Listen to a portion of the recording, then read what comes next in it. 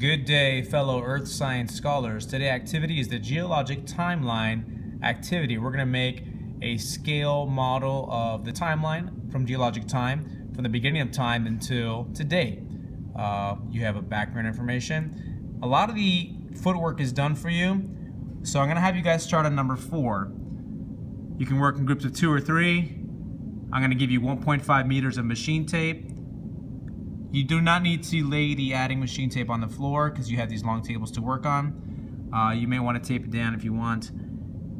And let's go to number four, within the first 20 centimeters of the top left corner. So your adding machine tape looks something like this, as it is blank.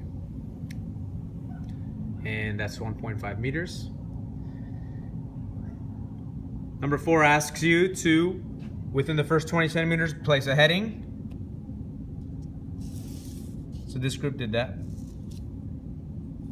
And then you'll be starting at that line right there on the today. Now, important thing to note is that you're not gonna pick up that ruler and move it at all. It's gonna stay right there. And you're just gonna mark off the increments for the Cenozoic time, Mesozoic time, through the Paleozoic time, and on. And notice that you're going to label certain events that took place during each time period, and all that information is laid out for you in the lab on the second page. Make sure you color them according to the colors that are described. And we'll take care of the questions tomorrow in class.